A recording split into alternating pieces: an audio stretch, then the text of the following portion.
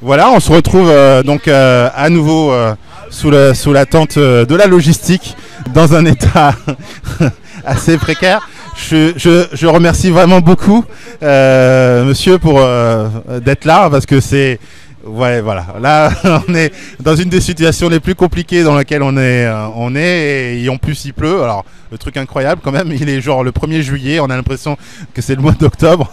Et bon vous êtes euh, donc chercheur. hein. Euh, votre spécialité c'est l'Angleterre. Et euh, donc je, vous demanderai de vous présenter un peu, c'est-à-dire le travail que vous avez fait sur, la, sur le travail en Angleterre en particulier.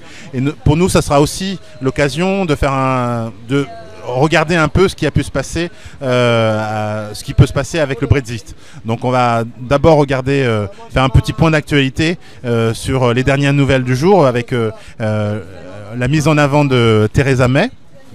Et puis, euh, et puis on, verra euh, à travers le Brexit euh, quelles sont les zones qui en Angleterre ont le plus voté en faveur de, du, départ de l'Union européenne, puisque ce sont des zones qui ont eu beaucoup à souffrir des politiques de Thatcher par le passé.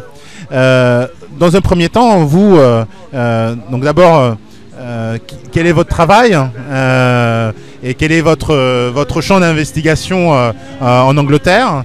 Et puis, euh, puis ensuite, on, discutera de la suite. Merci. D'accord, alors je- suis euh, Thierry Labica et j'enseigne à l'université de Nanterre. Donc euh, j'enseigne dans un... Je je m'appelle Thierry et mais un de mes enfants vient de me rappeler qu'aujourd'hui c'était la Saint-Thierry, ça doit être ma fête donc c'est bien comme ça. Et donc j'enseigne dans un département d'anglais et je, parmi les diverses choses qu'on fait, hein, euh, Il y en a une en particulier qui me, qui me tient à cœur, c'est un cours que je fais sur les, relations du travail dans l'après-guerre. Et, c'est en fait un cours de ce qu'on appelle en anglais Industrial Relations. En fait, c'est une discipline qui n'existe pas en français parce que c'est pas une discipline, c'est ce que les, anglo-saxons appellent un champ d'études. Alors, un champ d'études, c'est, c'est d'emblée quelque chose qui euh, allie euh, plusieurs disciplines, euh, l'histoire, la sociologie, le droit. Alors euh, moi je suis ni juriste ni sociologue, voilà, mais on- au moins on fait découvrir un champ d'études, voilà, puis, et puis on parle du et puis on parle du travail. Et en fait c'est un sujet qui très rapidement est comment dire permet d'entrer assez vite dans l'intime. Souvent, les gens arrivent en pensant on va parler des trucs, de choses économiques un peu ennuyeuses, pas toujours ils pensent ça, mais parfois ils anticipent ça. Et en fait, ce qu'on fait, c'est qu'on parle du travail. On, vraiment, on essaye de, poser ce mot-là, pas de l'emploi, mais du travail. Et en fait, tout le monde en a une expérience intime de cette affaire-là. Donc, euh, c'est un, terrain sur lequel on arrive assez, vite à avoir des, discussions très. Voilà, donc c'est vraiment un, objet très intime en fait. hein. Euh, voilà, on, on- on le pense vite en termes euh, économiques, un peu abstraits, mais il suffit de, de, prendre le bon aiguillage et on est vraiment sur des questions très, très personnelles, très sensibles. euh, voilà. Donc ça, c'est toujours une bonne, euh, une bonne expérience. Donc voilà, j'enseigne d'autres choses, mais euh, disons que la, le point d'articulation le plus immédiat avec les questions syndicales, parce que je suis syndicaliste aussi, et avec les questions, les questions sociales et politiques, pour ce qui me concerne, passe, disons, de manière plus évidente que le reste par ce type de- d'enseignement-là. Et dans le travail de recherche, bon, ça tourne autour de ça et puis autour de la question du néolibéralisme. Mais bon, tout le monde écrit sur le néolibéralisme, euh, parle du néolibéralisme, ce qu'il faut faire, hein, parce que c'est le, moins mauvais terme qu'on a pour nommer la, situation historique dans laquelle on se trouve. hein. Mais c'est un mauvais terme quand même, c'est-à-dire qu'il permet de, de dire beaucoup de choses, mais euh, c'est un terme qui est devenu tellement englobant. On parle de néolibéralisme au pouvoir. hein, depuis en gros, bon, Pinochet au Chili euh, au début des années 60, en 73, après 73, et en Grande-Bretagne et aux États-Unis euh, euh, à partir de 79-80, l'élection de Reagan et, Thatcher, bon, tout le monde connaît ça. Et puis on peut dire en Chine à partir de l'arrivée de Deng Xiaoping au pouvoir. Et Tiananmen en fait est, une, est, un, est un épisode de contestation de- du- d'un tournant autoritaire néolibéral de l'économie chinoise. Il y a des très bonnes analyses de ça. Donc on a euh, un, un mot qui nous permet de situer une période euh, dans laquelle nous nous trouvons, mais qui commence en gros euh, dans les années 70 en termes d'arrivée au pouvoir. L'histoire intellectuelle du néolibéralisme est plus ancienne, mais euh, et puis qui court jusqu'à aujourd'hui. Or, entre-temps, il y a quand même des séquences très importantes, il y a quand même des, moments, euh, on pourrait dire, euh, alors je ne vais pas faire tout un truc là-dessus, mais que Reagan et Thatcher au pouvoir, il y a vraiment un ton fortement libertarien. L'État, c'est pas bien, l'État n'est pas la solution au problème, c'est le problème. Il y a une formule célèbre dans un discours inaugural de, Reagan. Là, bon. il y a une espèce d'anti-étatisme déclaré de, de, Thatcher avec une espèce de fond un peu libertarien. Bon, Aujourd'hui, euh, la vraie nature du libéralisme, tout le monde la connaît, c'est que c'est une forme d'étatisme, en tout cas, on, peut facilement en tout cas le, proposer. Hein, il y, a, des problèmes euh, des circuits bancaires. L'État est super interventionniste. Il ne faut plus nous dire que le libéralisme est une, une forme d'autorestriction de l'activité étatique. L'État est très très interventionniste. Que ce soit sur le terrain coercitif, bon ça on sait, on a compris. Euh, mais pas seulement, l'État est très très interventionniste, euh, bah, par exemple dans la crise, il n'a pas dit, euh, laissons le marché fixer les prix et les flux et les relations et la concurrence entre les, institutions financières. On a, injecté des, sommes d'argent absolument impensables pour, pour voir, on a, certaines institutions ont été, ou certains établissements ont été renationalisés, temporairement. Donc, et puis, quand on travaille dans la fonction publique comme moi, euh, euh, il y a à la fois un discours de l'État va plus être interventionniste au, sens où on va introduire beaucoup plus d'autonomie, euh, voire de concurrence dans les universités qu'il faut classer. bon. bon, selon des critères totalement aberrants, mais bon, ça c'est vraiment pas très intéressant. Mais en même temps, il y a un dirigisme extrêmement actif, pointilleux, euh, de, quasiment d'année en année, de semestre en semestre, pour régler les comportements. Un lecteur de, Michel Foucault, alors là, a vraiment euh, une espèce de, cas d'école euh, presque comique, presque caricatural, ennuyeux parce que trop facile dans le règlement des comportements concurrentiels où chaque personne doit à une carrière, un suivi de carrière. Euh, euh, euh, alors je suis assez embêté d'ailleurs parce que j'appartiens à une organisation syndicale qui est vraiment pas très claire sur cette histoire de suivi de carrière. Bon, enfin, on va, on va, on va, je vais garder cette dispute là pour d'autres lieux. Mais et donc voilà, donc il y a vraiment une, activité étatique prescriptive, omniprésente, très intense, et peut-être juste pour finir sur ce sujet-là qui est un peu vaste, mais en fait, c'est que ça, c'est vrai depuis le départ. Ou par certains aspects, on peut, on a des raisons de penser que c'est vrai depuis le départ. Alors après, il faudra faire la discussion et que bon, être plus nuancé.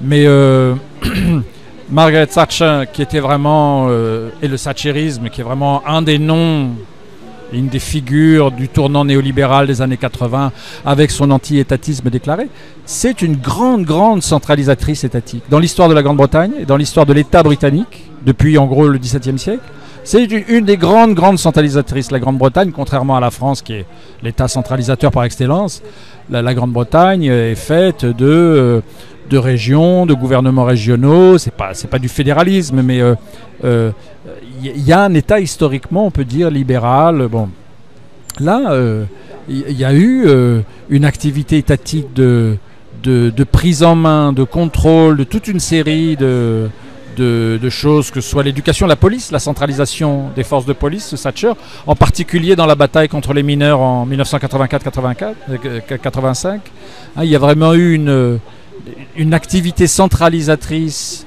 euh, de, toute une série de, choses hein, qui euh, rétrospectivement se, se, lisent. Disons que euh, ce, ce, dont on fait l'expérience maintenant fait tomber un masque ancien avec lequel on a trop peut-être cru au libéralisme sur ses, propres termes, qu'il est anti-étatique, mais pas du tout. Enfin, ça, c'est un truc avec lequel. Ce que j'essayais de dire dans la discussion qu'on a eue hier euh, à la Bourse du Travail, c'est que le néolibéralisme, c'est pour nous. C'est pour nous, là.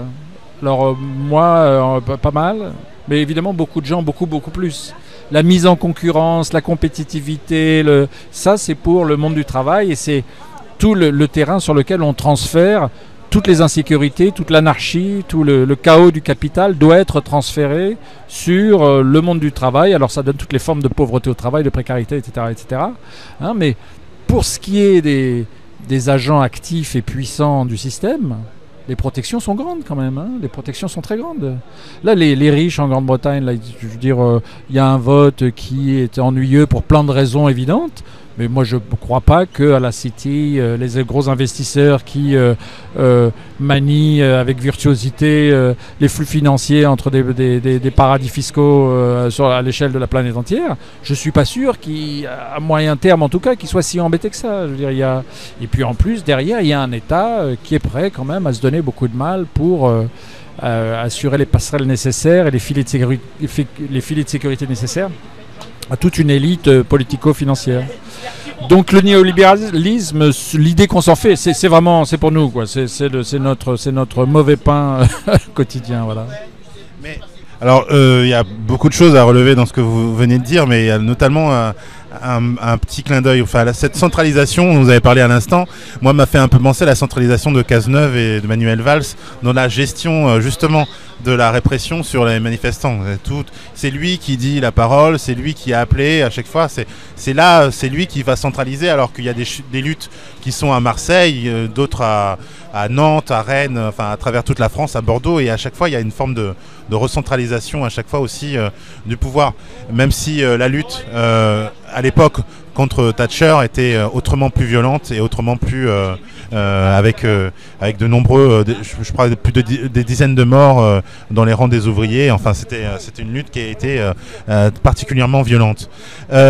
Sur le, libéralisme, le néolibéralisme, évidemment, c'est important de repréciser les termes, parce qu'on est parti sur l'idée aujourd'hui que le néolibéralisme, avec une certaine vision économique, une vision plutôt d'entreprise un, peu difficile, et puis, euh, euh, et puis à côté aussi, il y a en, face des choses qui se mélangent avec le libertarien, avec, euh, avec la liberté de, de parler, les libertés d'expression, etc. Donc il y a plein de choses qui se sont mélangées. Et, et un peu comme disait Albert Camus, c'est mal nommer les choses, c'est un peu ajouter du malheur au monde. Quoi. Et donc là, en l'occurrence, il y a, y, a y a cet effort-là. Enfin, on a une difficulté à mettre des termes qui correspondent vraiment à la réalité des choses.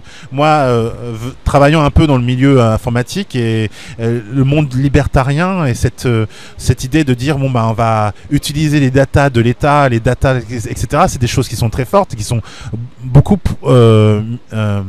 promues dans, dans, ces communautés-là, mais en même temps, on semble rejeter finalement le, le, le trop euh, d'intervention, l'interventionnisme justement euh, étatique. Et là, pour ce qui concerne les, les droits de travail euh, en Europe, et que ce soit en Angleterre ou que ce soit en, France, même si en Angleterre déjà, ça, fait déjà un certain temps qu'elles se sont mises en place, il y a cet interventionnisme qui est très fort. On voit à quel point les, États, les parlements ont mis en place toute une structure, et c'était une des remarques qui avait été faite euh, pendant le débat d'hier, c'était qu'il y a une sorte de cohérence euh, dans cette, euh, dans, ce, dans cette structure-là, où la menace est plus pour euh, le travailleur et les opportunités sont, sont créées justement plutôt pour les patrons et pour, pour, les, pour les chefs d'entreprise. Et, ça, c'est quelque chose de, qui est répliqué sur de nombreux pays en, en, Europe. Quel est-ce que vous pensez, on, compare aujourd'hui, c'est ce que j'ai entendu en tout cas euh, comme description, euh, Theresa May à une sorte de néo-thatcherisme. Euh, Alors moi je me méfie un peu de ce genre de choses parce que Thatcher, c'est une autre époque, c'est presque la sortie. Enfin non, c'était pas la sortie, c'était l'affrontement russo-américain. Enfin, on est dans un monde complètement différent par rapport au monde d'aujourd'hui. Euh, et puis, euh, bon, bah, comme on n'a pas de modèle euh, de femme au pouvoir, bah, du coup, on, se raccroche à des choses qui semblent être connues. Est-ce que vous pourriez nous en dire un peu? Est-ce que vous connaissez un peu cette, cette peut-être future Premier ministre anglaise?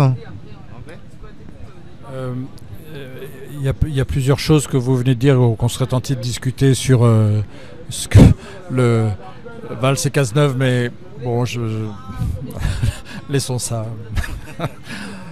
Euh, non, mais c'est des gens désespérés qui, euh, voilà, euh, veulent envoyer des messages de fermeté, qui sont toutes manière sont eux-mêmes nassés dans leur propre médiocrité, leur propre contradiction. Que s'ils lâchent le morceau, ils passeront pour des faibles.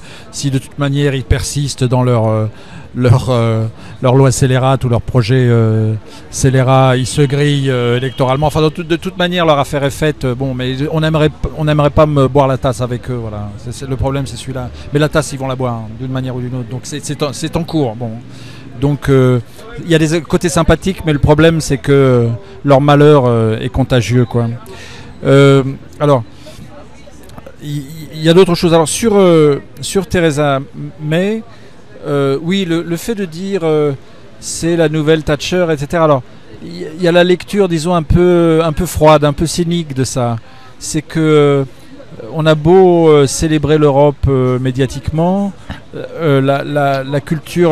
me- bon, c'est une formule un peu malheureuse, mais je vais le dire comme ça. La culture médiatique moyenne sur l'Europe, elle est vraiment quand même euh, faite de, cartes postales de mauvaise qualité sur les Espagnols qui aiment la corrida et les castagnettes, euh, les Italiens qui jouent de la mandoline et, euh, et les Allemands qui mangent, boivent de la choucroute et mangent de la choucroute et boivent de la bière et les Anglais qui écoutent les clashs, qui voyagent dans des bus rouges et qui, je veux dire, c'est bon, c'est fatigant. La, la campagne du Brexit, même sur la radio de service public, ça a été bah, tout euh, enfin, c'était la formule shakespearienne euh, tournée euh, de mille manières et les clashs, voilà.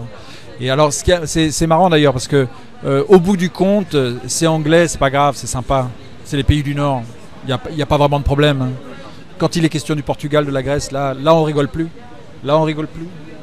Euh, donc, il y a une espèce de connivence euh, euh, avec l'idée que fondamentalement, euh, de, de connivence, disons nordique. Alors, la France est un peu entre les deux, d'une certaine manière. euh.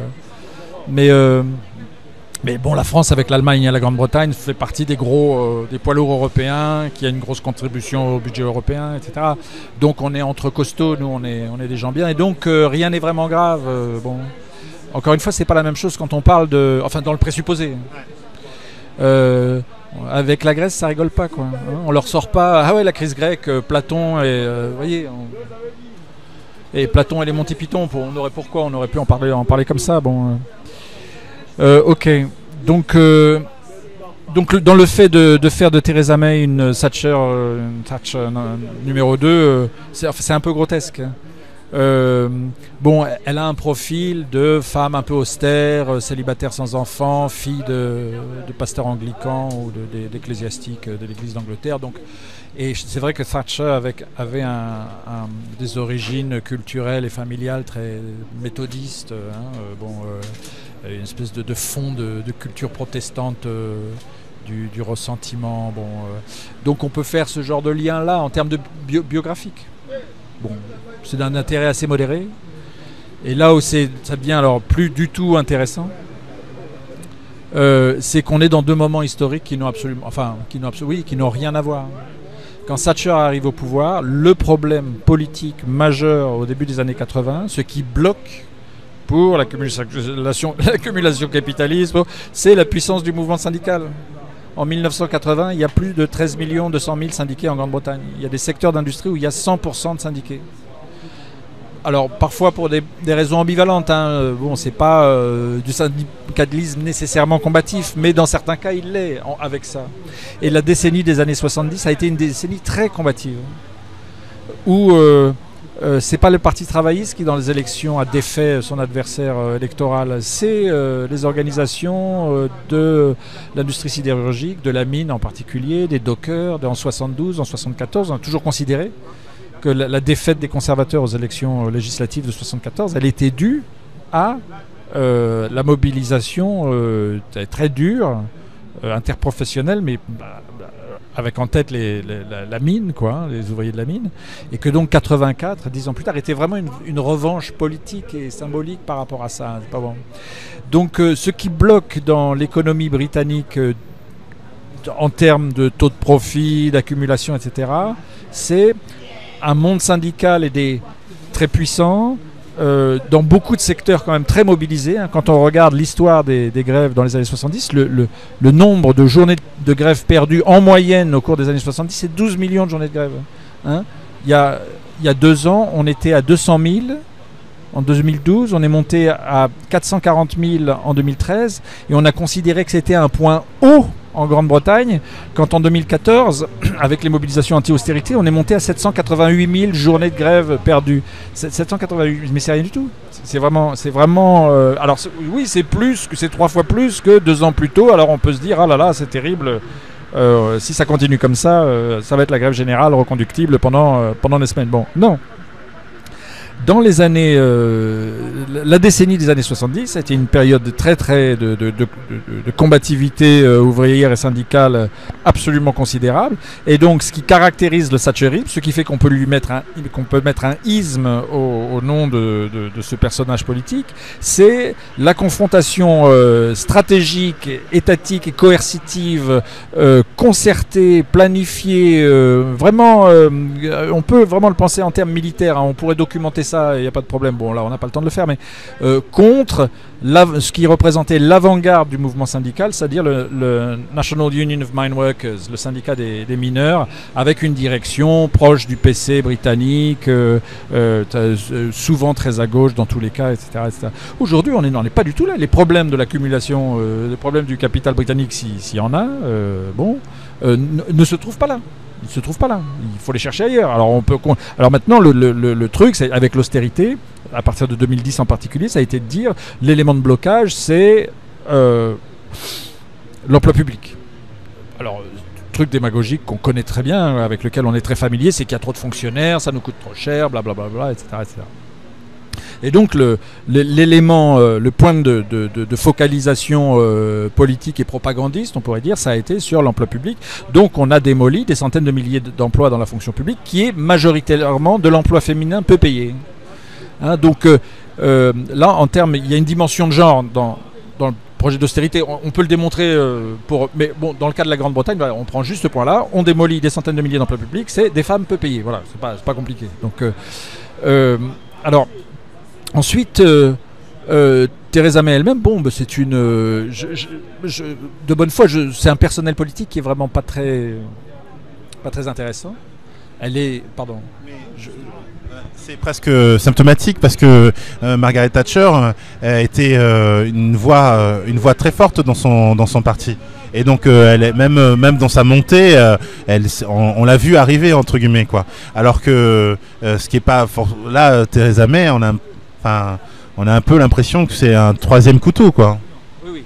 Non, non, voilà, c'est ça. Ce qui est intéressant là-dedans, alors à moins qu'on veuille vraiment rentrer dans la tambouille euh, euh, avec les, ambitions euh, de, des uns et des autres, bon, voilà, moi ça, ça m'intéresse pas beaucoup, mais je dis pas que c'est pas intéressant, mais moi ça m'intéresse pas. Voilà, Mais effectivement, c'est pas une personne qui a une trajectoire politique qu'on peut identifier de manière saillante, quoi. Hein voilà, elle est dans le personnel politique de haut vol du, Parti conservateur, elle est là depuis un moment, etc.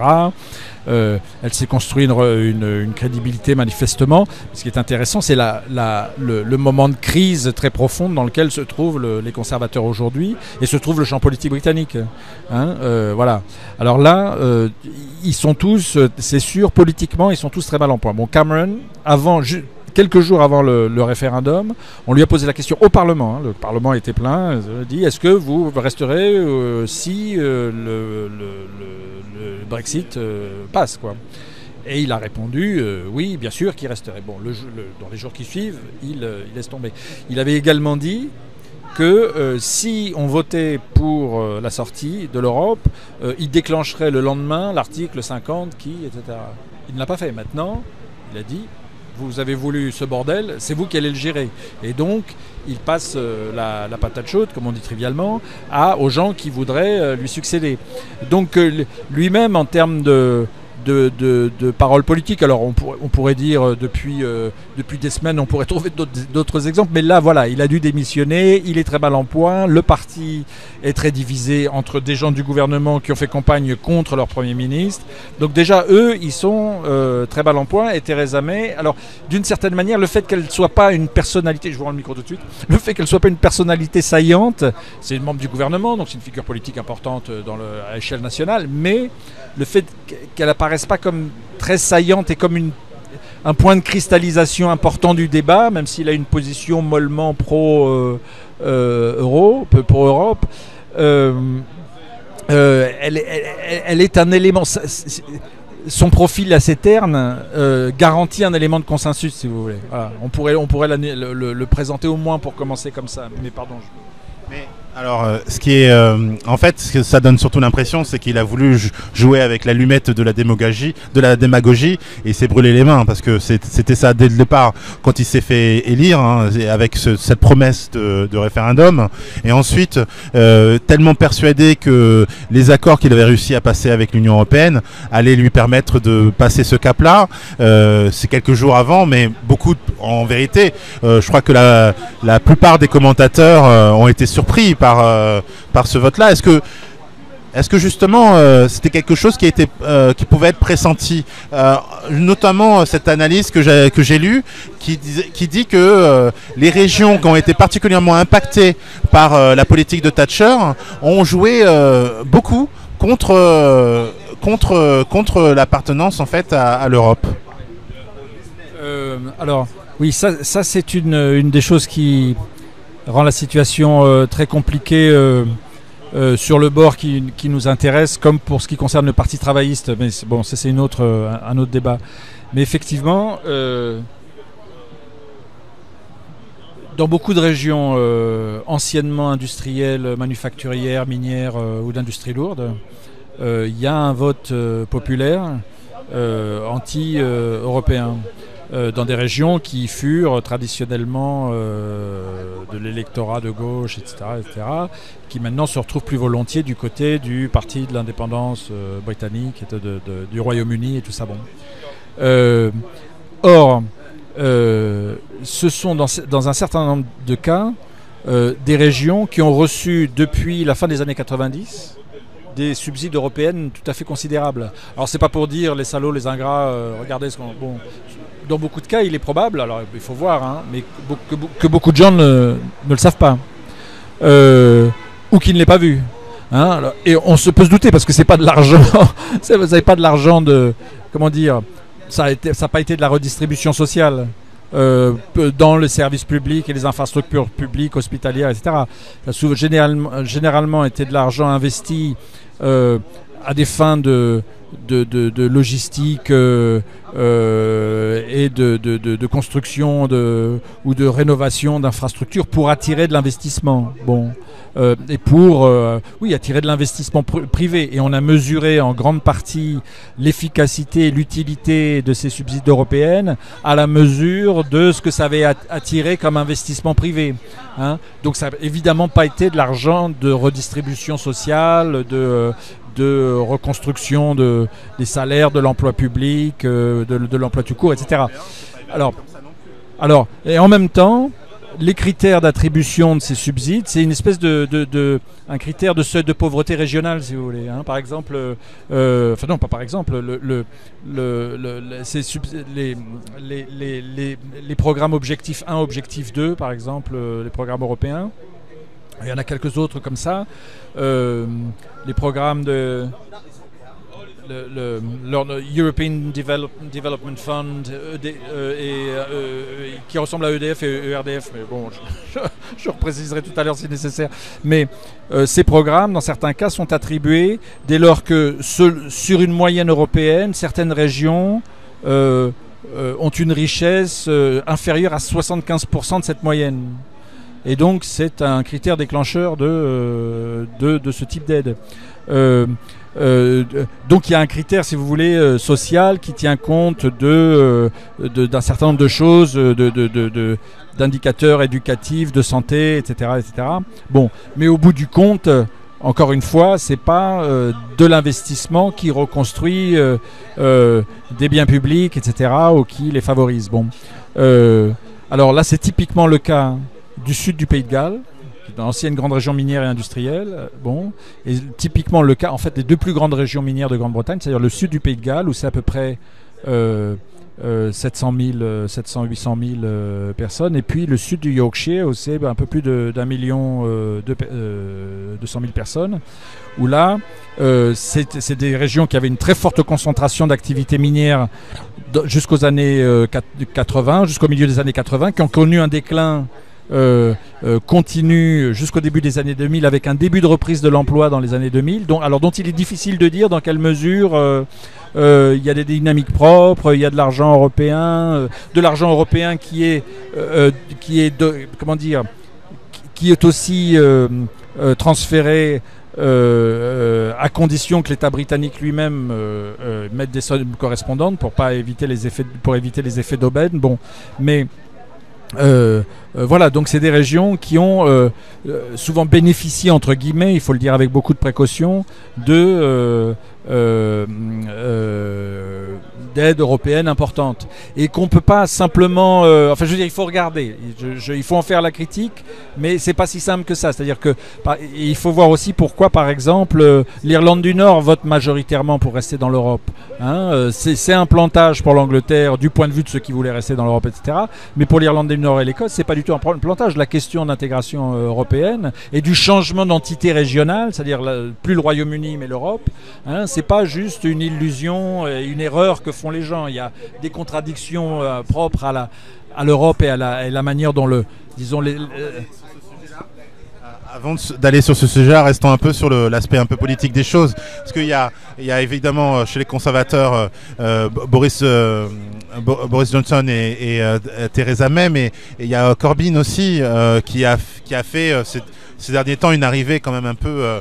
un peu impressionnante. On a, c'est une, gauche comme on ne pensait pas voir une gauche en Angleterre. Donc, qu'est-ce que Corbyn, euh, quel est le rôle de Corbyn là-dedans? Est-ce qu'il va avoir un poids? Est-ce que est-ce qu'il faudrait des nouvelles élections législatives pour que éventuellement on voit vraiment les, choses complètement changer? Est-ce qu'on pourrait imaginer ça? Ou est-ce que euh, euh, ou est-ce qu'il restera malgré tout un peu dans l'ombre et sur la troisième marche du pouvoir?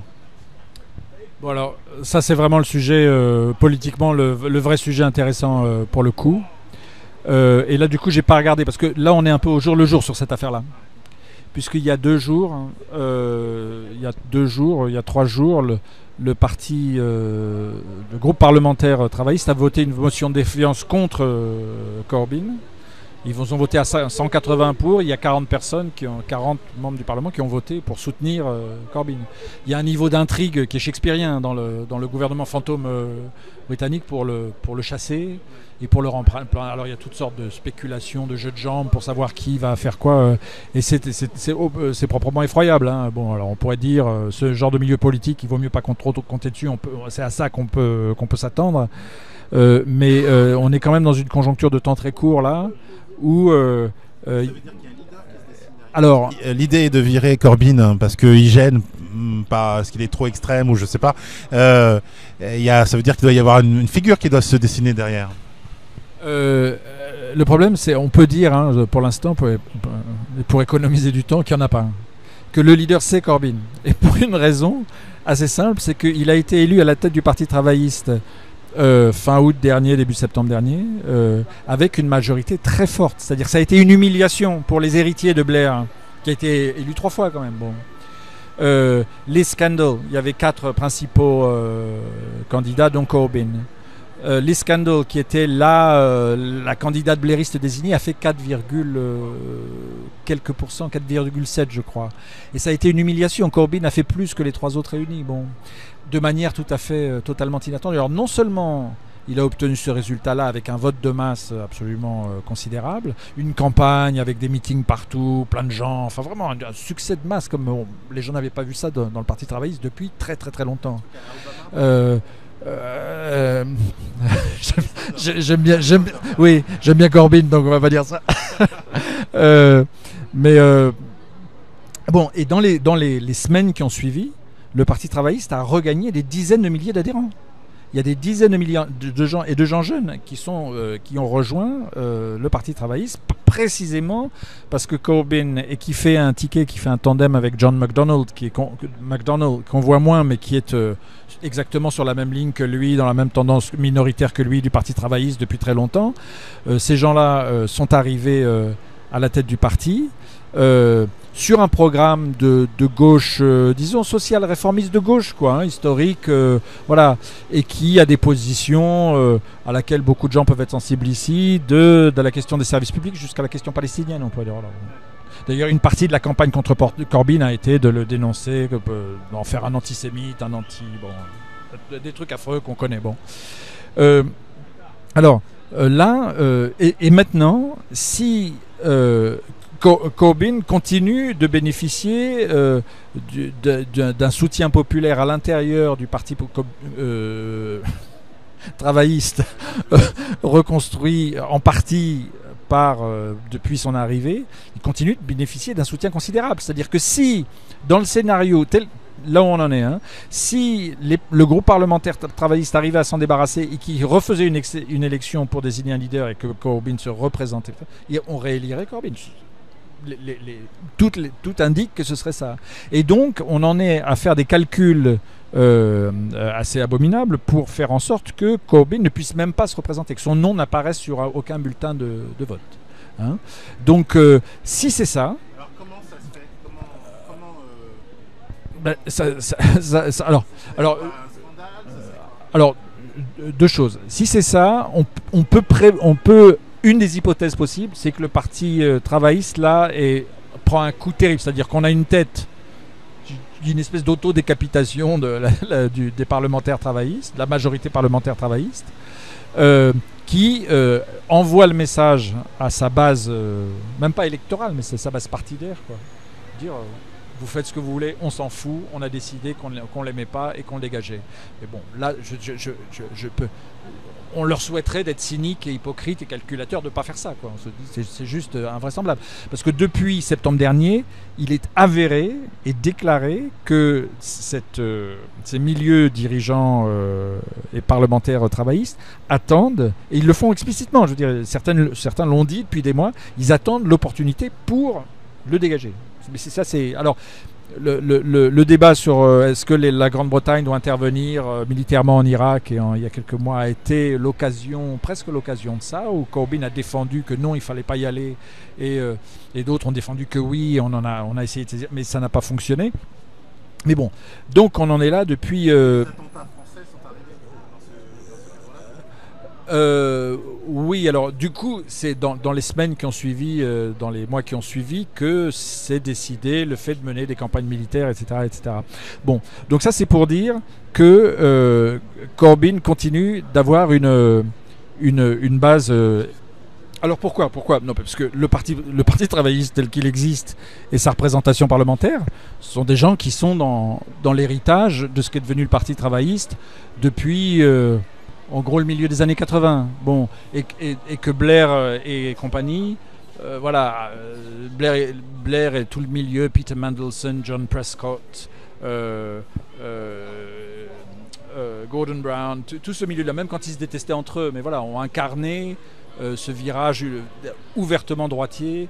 Euh, quand on dit ouvertement droitier, c'est consensuel. Hein. Je veux dire, quand Tony Blair faisait aller faire le tour d'Europe pour aller rendre visite à Berlusconi puis à Schroeder pour faire un manifeste commun sur la nécessaire flexibilisation plus grande des marchés du travail, on n'est pas, quand on parle de droitisation, on n'est pas, une vue de l'esprit, et tout le monde, tout le monde sait ça sur Blair, donc il n'y a pas de problème. Bon, mais ce qu'on a maintenant, c'est un parti, euh, une direction travailliste, des milieux dirigeants travaillistes qui sont à l'image de, cette, euh, de cet héritage-là. Hein, euh, voilà. Alors on peut alors une partie, mais c'est la partie qui est, au Parlement, la, majorité. Alors on pourrait dire, euh, et on n'aurait pas tout à fait tort, hein, que c'est pas tellement une nouveauté, qu'il y a une histoire plus ancienne que ça, et que le Parti travailliste et ses positions politiques n'ont été qu'à la mesure de la puissance du mouvement, de ce que la puissance du mouvement social lui dictait de faire ou pas. Hein, euh, dans les années 70, comme je le disais tout à l'heure, euh, c'est dans une large mesure une partie du monde syndical qui fait la politique. Et le Parti travailliste n'est pas en mesure de dire non, non, on va pas faire comme ça. Bon, aujourd'hui, ce rapport de force-là n'existe plus sous cette forme-là. Euh, donc, euh, euh, voilà pourquoi on en est là. On est dans un héritage. alors, ce qu'il faut dire aussi, c'est un peu ennuyeux, mais ça fait partie du tableau, c'est que le système électoral britannique favorise aussi un, certain type, une certaine structuration, du, champ politique, institutionnel, parlementaire. Hein, vous, c'est des élections euh, à un tour, celui qui arrive le premier à gagner. Donc, si moi, si moi j'ai fait 23% et que vous avez fait 24% et demi et que tous nos adversaires et concurrents ont fait moins que ça, bon, c'est vous qui avez gagné l'élection. Si 52% des gens sont venus voter. Voyez, vous, avez, vous êtes élu voilà, sans, discussion. Et un parti peut arriver au pouvoir avec une très forte majorité parlementaire et une base électorale dans le pays qui est qui est, qui est, qui est minime, hein, qui est vraiment euh, à, qui est à 23-24%, c'est possible. Donc, euh, euh, voilà, les effets de distorsion de représentation, ce qu'on trouve du l'état du Parti travailliste aujourd'hui au Parlement, etc., est un peu à l'image de ce de ces, de ces effets à la fois politiques et idéologiques de long terme et de ces effets, disons, structurels de, du système électoral euh, du système électoral britannique. Mais bon, voilà, ça c'est des sujets un peu ennuyeux, mais bon, ça fait partie du tableau. Voilà. On, on, pour revenir un peu quand même sur euh, ce monde du travail euh, et la manière dont euh, dans ce cadre est en train de se mettre en place. On, a, moi, je me demande un peu d'où il vient, parce que vous m'avez expliqué tout à l'heure que le néolibéralisme, le libéralisme, il y a plein de termes comme ça qui se mélangent et qui dépendent selon leur époque et la, manière dont c'est appliqué par les différents gouvernements et dont c'est utilisé comme euh, soit un épouvantail, soit comme une promesse. Donc il y a, il voilà, il y a toutes ces idées là qui sont à la source euh, du, euh, euh, de ces lois travail qui se retrouvent quasiment mis en place un peu de la même manière en, Europe. moi, j'aurais cru qu'elles avaient été inspirées par une forme de libéralisme ou, enfin, de politique de l'emploi à l'anglaise en fait. Parce que il me semble enfin voilà il m'aurait semblé que c'est ce pays-là qui est à la source de de ces de ces idées là est-ce que c'est est-ce que c'est le cas? Est-ce que l'Angleterre a participer dans la fabrication de ces, enfin une certaine, enfin un certain nombre de politiques. Je, c'est pas l'Angleterre en elle-même, c'est une, une, partie des politiques ont participé à l'élaboration de ces principes-là, avec cette, ce tiraillement qu'il y a eu constamment entre l'Angleterre et l'Europe, euh, où ils, ils menaçaient euh, perpétuellement de quitter l'Europe parce que c'était pas assez euh, libéral, et puis parce que c'était trop, trop technocratique et puis euh, qu'ils n'arrêtaient pas en fait de, tirer vers dans un sens et que du coup finalement l'Europe quelquefois se sentait obligée de suivre ça ou est-ce que c'est quelque chose qui est vraiment plus euh, euh, qui vient vraiment de, de l'Allemagne et de quelques pays de, l'Est est-ce que c'est quelque voilà d'où d'où viennent les inspirations? Est-ce que ça vient un peu de l'Angleterre et de du thatcherisme ou est-ce que c'est quelque chose qui est comment dire dans le plutôt vraiment européen et classiquement européen euh, euh, Moi, je connaissais pas assez bien le, le, les histoires du, des réformes du travail en Europe pour, euh, pour dire ça. c'est pour ça que la, discussion d'hier était particulièrement utile parce que là, voilà, on a, on a une série de, de points de vue italiens, espagnols, allemands. Et on parle pas beaucoup des pays de l'Est, c'est vrai. Euh, mais disons que. Euh, oui, il paraît pas exagéré quand même de dire que la Grande-Bretagne représente un précédent particulier. La Grande-Bretagne en Europe, euh, c'est le premier grand exemple de tournant coercitif affirmé.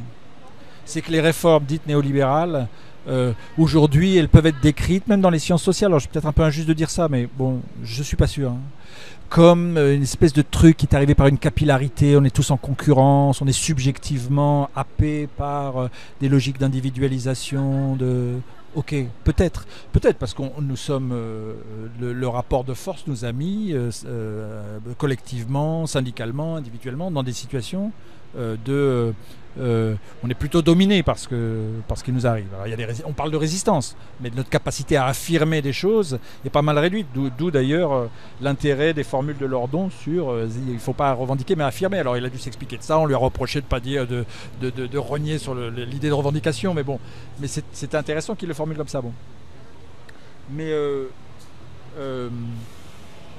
mais donc la, Grande-Bretagne est l'exemple du, premier coup de force inaugural et un coup de force inaugural gigantesque. La, désindustrialisation britannique a été la plus rapide et la plus brutale dans l'histoire du monde, dans, dans, les pays industrialisés de, l'industrialisation classique. Hein. la, Grande-Bretagne, qui était la première nation de la révolution industrielle, tout le monde apprend ça à la colle, etc., en, 1983 est devenue euh, euh, importatrice nette de produits manufacturés en 86, il y a eu le Big Bang financier, c'est-à-dire la déréglementation financière, la déréglementation du crédit, etc. Hein. Donc on est dans une séquence assez courte de quelques années où on, a une, phase de, désindustrialisation accélérée pardon, euh, aboutit dans les années 80 avec des, pertes d'emplois par centaines de milliers dans toutes les grandes branches d'industrie classique, manufacturière, d'extraction et industrie lourde, chantier naval, etc., etc., sur un temps très court, avec... Euh, euh, un tournant financier très, euh, très marqué en 86, ce qu'on appelle le Big Bang, euh, et une, une, un travail étatique législatif pour couler une espèce de dalle de béton générale sur les droits du monde du travail, les droits syndicaux. Hein, il y a une succession de lois sur l'emploi, sur les syndicats, qui, est absolument incroyable quand on regarde juste la séquence des années 80, 82, 87, 88. Alors après ça continue, mais il y a vraiment un moment très très dense pour ça. Donc euh, on, peut dire que de ce point de vue-là, et, donc je, je permets de redire, euh, de, redire ça, l'épisode de la grève de 84 est vraiment un moment absolument inaugural. Pour nous, là, il y a quelque chose qui commence là. Alors c'est un peu eurocentrique, etc. Mais bon, pour ce qui concerne l'Europe, le tournant des politiques libérales en Europe, la Grande-Bretagne représente un moment euh, avant-gardiste dans la régression. Ça paraît bizarre de dire ça, mais on peut dire comme ça. Avec une, volonté politique absolument affichée euh, et euh, déclarée d'en découdre et d'en découdre avec les moyens coercitifs du jour, les plus, euh, les plus élaborés. Hein. bon. donc de ce point de vue-là, alors ensuite oui, on produit un, marché du travail objectif, mais on pourrait dire, euh, c'est peut-être pas de la très bonne, une très bonne manière de le dire, mais une espèce de, d'état euh, psychique du, monde euh, ouvrier qui est aussi, qui, qui se dit, fait, fait, fait, partie de la donne, quoi. C'est-à-dire un niveau de découragement et de, de, de, d'hébétude qui est absolument, absolument considérable. Hein. dans les années 90, il y a une, longue période dans laquelle on ne voit pas, jusque, jusque dans les années 2000, tant, si on regarde l'activité. Absolument. Et, l'enserrement législatif des organisations, hein, qui sont à la fois érodées par euh, leurs propres contradictions, leurs propres, leurs propres conneries, par un dispositif législatif extrêmement enserrant et érodé par une progression du chômage et de la, des destructions des formes d'emploi, euh, des relations d'emploi classiques, qui font que le syndicalisme est quantitativement et qualitativement euh, érodé par ces trois bords. Il y a un aspect aussi qui est assez un, faut noter, c'est que c'est la fin des 30 glorieuses. Et donc avec euh, l'habitude pour les employés d'avoir un salaire qui ne cesse d'augmenter. Avec, euh, ils peuvent se dire que s'ils prennent des prêts, euh, ils vont pouvoir, avec leur augmentation, absorber les, les, traites et les différentes mensualités. Sauf qu'à à, à, partir des années 80, là, cette hausse des salaires est, est, complètement freinée, complètement stoppée.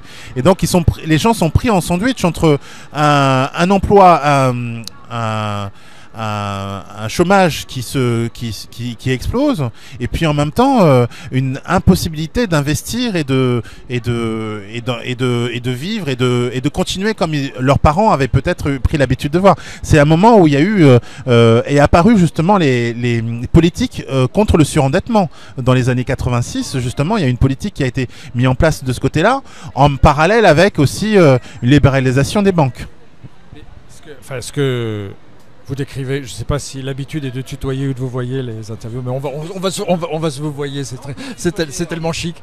Mais ça m'est vraiment égal. Mais, euh, non, mais ce que, ce que tu décris là, c'est, la recette de départ de la bulle euh, financière qui a, claqué en 2008. Hein. Hein? c'est que euh, en Grande-Bretagne, le substitut à la répression des salaires, c'est le crédit.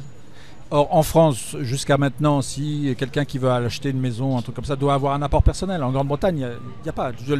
Les, facilités pour s'endetter sont absolument euh, de façon considérable.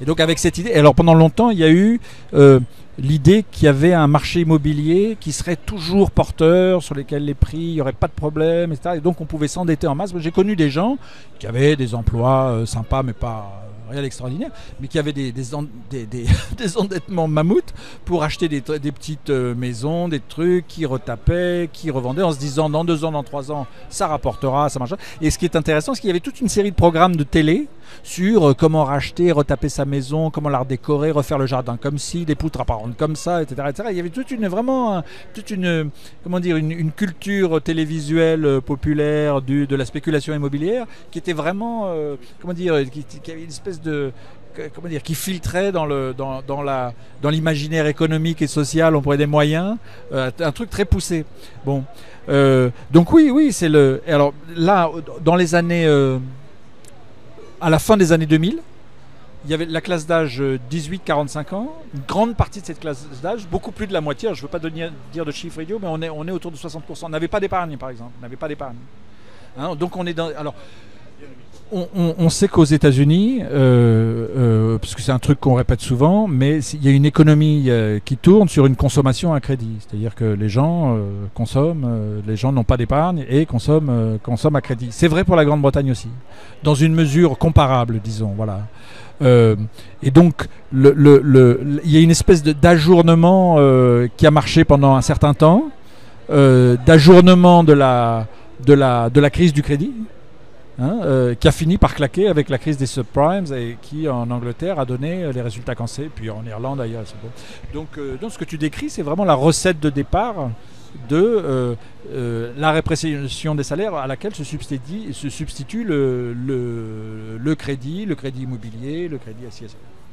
Alors, juste pour répondre un peu à des questions du, du public, là, il y a. Oui, oui, les gens s'en posent. Non, non, non, moi je pose des questions, mais il y a aussi des gens qui euh, se posent des questions. Euh, non, non, très bien, très bien. Euh, Donc, justement, il faudrait un point sur. un point sur le syndicalisme, en fait. Le taux actuel en Grande-Bretagne, il en est où? Il y a 6 400 000 euh, syndiqués en Grande-Bretagne. Donc c'est quasiment une division par deux par rapport à 80. Euh, euh, six mi- six- pardon. Par- exemple, en France, on sait que c'est 7%. On sait que en Allemagne, c'est beaucoup plus haut. Enfin, c'est l'ordre de, euh, enfin voilà, c'est plus élevé. Euh, voilà, en Angleterre, ça serait euh, quoi, 40 euh, Euh, non, c'est moins que ça, mais on est à peu près, à- si je me souviens bien, à peu près à 8% dans le privé, 24% dans le public. Et donc, le taux de syndicalisation total, ben oui, je devrais le sortir euh, de manière euh, quasiment instinctive et euh, pavlovienne, mais j'ai peur de dire une bêtise. Mais est-ce qu'on est autour de. J'ai peur, de- j'ai peur, de dire une- j'ai peur de dire une bêtise. Donc, on fait, on fait le calcul, on peut faire le, calcul rapidement, mais en tout cas 6 400 000, euh, 6 400 000 syndiqués, avec une, depuis quelques années une proportion, une, majorité de femmes. Euh, et une forte représentation de ce qu'on appelle les, minorités dites visibles. Je ne sais pas si c'est une bonne expression, mais voilà. Donc, euh, pour la première fois de- depuis euh, le début, c'est une femme, Frances O'Grady, qui a, un nom assez typiquement irlandais d'ailleurs, qui est la, secrétaire générale du, Trade Union Congress. Donc le taux de syndicalisation. Alors, j'ai les chiffres selon l'OCDE. hein, en 2014, euh, en 2014, c'est 25%. C'est ça, c'est ça, oui, oui. Non, mais j'avais peur de dire une bêtise, mais c'est ça, voilà. Donc, euh, euh, ça, c'est une chose. Alors, dans le syndicalisme, il y a eu des grandes recompositions, des recompositions, des grands regroupements qui ont donné un syndicat quantitativement très majoritaire qui s'appelle Unite the Union, où il y a quasiment plus d'un million de syndiqués. Euh, Unison est un, est un syndicat plutôt de la, de, de la fonction publique, de l'emploi public, où on est quasiment à un million de gens. Et puis ensuite, on a des organisations syndicales qui euh, euh, comptent 700 000, 600 000. Enfin, il y a vraiment des, des- des grosses, grosses euh, organisations syndicales et qui. Alors, peut-être juste un mot là-dessus. Le syndicalisme britannique, euh, il n'est pas dans la tradition euh, française, si on peut parler d'une tradition française, mais enfin, il n'a pas le même héritage euh, politique. Et bon. hein. D'ailleurs, on parle de trade unions, c'est pas des, industrial unions, c'est des trade unions, c'est des syndicats de métier où ils se définissent comme ça au départ. Alors, trade, c'est des, métiers. Au départ, c'est des métiers. Alors, quand on dit à quelqu'un il y a longtemps What's your trade, c'est quel est ton métier hein, En termes de qualification. Bon. et et donc, il y a une histoire de, ancienne, il y a une archéologie, disons, corporatiste du syndicalisme britannique assez forte. Quoi, hein, bon. Euh, alors, euh, j'essaie de, de, résumer ce que, je, ce que je veux te dire, mais. Euh, donc, on a ces grandes, grandes organisations syndicales, et dans les années euh, au tournant des années 2000, voilà, la direction du TUC était quelqu'un qui était très proche de Blair et qui a fini par s'indigner un peu de ce que Blair aille voir Berlusconi pour promouvoir la flexibilité. C'est quelqu'un qui s'appelle John Monk. Quand les types ont fini, généralement ils se barrent, ils ont un siège, un strapontin quelque part en Europe, etc., dans, le, dans les instances européennes et c'est tranquille pour eux. Bon. Et à ce moment-là, ont émergé un groupe de syndicalistes euh, en Grande-Bretagne qui était très clairement identifié à gauche, euh, voire très à gauche, dans des syndicats importants. Et on a parlé de, de The Awkward Squad. C'était un, groupe de syndicalistes qui menaçaient de se désaffilier du Labour parce que historiquement, hein, c'est le, Parti travailliste est une émanation du, syndicalisme juste au tournant du XXe siècle. Hein, ce sont la confédération des syndicats qui a dit voilà, il suffit plus de négocier euh, avec, essayer de négocier avec les patrons, etc. Euh, comme on continue d'être menacé de sur euh, nos ressources, etc. Bon, il nous faut un bras parlementaire et ce bras parlementaire, ça s'est d'abord appelé le le Labour à chaque fois je dis LCR, mais c'est pas ça, je, m'excuse. Le, Labour Representation Committee, le, comité de représentation du travail, et qui est devenu en 1906 le Parti travailliste. Donc le Parti travailliste est vraiment une émanation directe, explicite des syndicats, qui jusqu'à aujourd'hui, les syndicats sponsorisent des parlementaires. Donc sur Corbyn, il y a des syndicats qui ont dit, si vous virez Corbyn, mais on va désélectionner les gens qu'on a sponsorisés pour les envoyer au Parlement. Donc il faut, il faut vraiment voir au jour le jour ce qui se passe avec cette affaire-là, hein, parce que c'est quand même un peu du lourd. Hein. Euh, persiste, un lien persiste, un lien difficile, euh, conflictuel persiste entre le Parti travailliste, le groupe parlementaire notamment, et le, monde syndical. Et depuis, les années, depuis le tournant des années 2000, il y a un milieu syndical, et pas seulement militant, mais de direction syndicale, qui menace, alors dans le cas de l'Écosse, la menace a été mise à, comment dire, à exécution, où on, se dé, on, coupe le robinet des, subsides syndicaux, du, on prélève sur la cotisation syndicale, il y a euh, le syndicat euh, prélève une, partie de la cotisation qui va au Parti travailliste. Et là, on a dit non, c'est fini. On donne au Scottish, Scottish, Scottish National Party, on, on, donne au Scottish Socialist Party, mais on ne donne plus au Parti travailliste donc il y a eu un groupe de type. Et là maintenant, dans les, dans les organisations syndicales et dans les directions des organisations syndicales, il y a une expression de soutien claire à Corbyn. Donc il y a un cocktail qui est pas mal, qui est intéressant, qui est fragile, mais qui est intéressant. Hein, euh, voilà. Donc les organisations syndicales, quantitativement, elles ont perdu beaucoup d'effectifs. Euh, elles se sont recomposées en termes de genre, etc., de manière très différente à ce qu'elles pouvaient être dans les années 70, 80. Euh, bon, et en même temps, elles ont encore une capacité de d'intervention, disons, c'est pas complètement des fantômes de ce que, ce que, ça a été. Ils ont encore un poids politique, social, financier qui est important. Alors, un peu pour terminer sur une note un, peu humoristique, euh, est-ce que euh, l'Angleterre pourrait se retrouver à gauche? Est-ce que euh, Corbyn pourrait, s'il y avait à l'occasion une élection législative, est-ce que est-ce qu'il y aurait suffisamment d'électeurs pour avoir Corbyn Premier ministre? Écoute, avec ta question, c'est une question qui me qui me fait penser que j'aimerais avoir de l'esprit et te, répondre quelque chose de délicieusement amusant et mais je vais pas trouver parce que je suis un peu euh, je suis un peu un lourdeau euh. bon donc euh, audacieusement je ne sais pas je, je, ne sais pas ce qui est sûr c'est que depuis que Corbyn est là il y a un truc qui a consisté à répéter alors à gauche ça a été de dire il est inelectable on, il peut pas c'est pas inéligible c'est que on, on peut on peut pas voter pour lui les gens voteront pas pour lui. Donc on n'arrivera pas au pouvoir avec ce mec-là. Euh, à droite, le, truc a consisté à dire et à répéter, parce que c'est une formule qu'on répète, qu'on répète, qu'on répète, qui a, été, consisté à dire il, consiste il constitue un danger pour le, pays. Ce qu'il a dit sur le Hezbollah, ce qu'il a dit sur... Euh, il n'a pas dit des trucs extraordinaires, il a dit voilà, il y a ces organisations-là dans la région, si on veut... intervenir, il faut y parler avec euh, les forces qui sont bon. On lui- et c'est ce qu'ils font tous. c'est absolu- c'est absolument ce qu'ils font tous. Donc, mais on a pris prétexte de ça parce qu'à un moment il y a eu un- une cristallisation sur sur ce truc-là en particulier. Et donc c'est un danger pour le pour le pays, pour la sécurité du pays. Voilà. Bon. Et donc il y a une euh, vraiment une espèce de de, de, de, prophétie, on répète, on répète qu'on peut pas les lire, qu'il est, c'est un danger pour le pays. Bon, derrière ça, il faut euh, beaucoup de gens reconnaissent dans Corbyn le type qui ramène non seulement avec un contenu politique réel, mais un élément de dignité que les gens n'ont pas vu dans le champ politique depuis assez longtemps, dans le champ politique de un peu de haut vol, quoi. Voilà.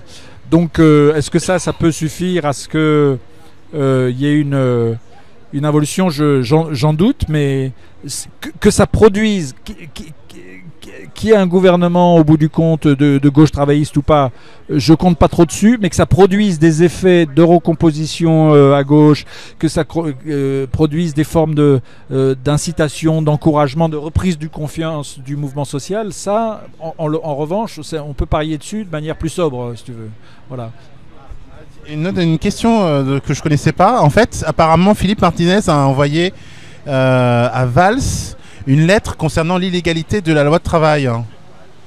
Il, a envoyé, il aurait envoyé ça à l'OIT, à donc l'Organisation internationale du travail. Euh, vous êtes au courant? Non. Ben, s'il l'a fait, euh, pourquoi pas? On peut s'envoyer des lettres. Moi, je trouve ça bien. C'est une loi scélérate. euh, tous les termes sont, sont valables ou sont bienvenus pour le faire savoir. Donc, non, non, je suis pas au courant de ça. Merci beaucoup en tout cas. Euh, je vais vous passer, très chers amis, attendez, je me recentre du coup. Hop, je mets un peu d'éclairage pour que je sois belle. Et visible surtout parce que j'ai pas une- un teint de peau qui me permet d'apparaître facilement dans le noir. Et euh, je vous, alors deux sujets vidéo qui vont passer à la suite les uns des autres. Un sujet de Nuit debout Lorient et un sujet de Nuit debout Fécamp. Euh, dans quel ordre Euh, C'est vous qui me le direz parce que je ne vois pas le titre d'ici. Euh, on se retrouve dans quelques minutes avec le témoignage de ce, de ce manifestant allemand dont on vous a parlé tout à l'heure. Un grand, grand merci à, monsieur le professeur. Et Thierry, Thierry, Thierry, Thierry, donc.